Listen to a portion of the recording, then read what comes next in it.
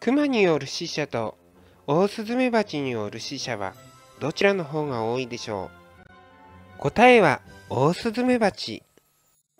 年間20人ぐらいがオオスズメバチに刺されて亡くなる。オオスズメバチの巣は地面の下にあるから気づかないで近寄ったりしちゃうからって。来るな来るなって顎をカチカチさせて威嚇するんだけどそれでも気がつかないと仲間を呼んで襲ってくる。スズメバチの針は産卵管が変化したものだから刺すのはメスだけ。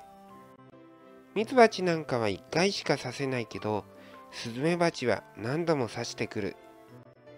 黒い服や匂いに敏感だから山に行くときは白い服を着て整髪料なんかはしないようにね。今日も見てくれてありがとう。またね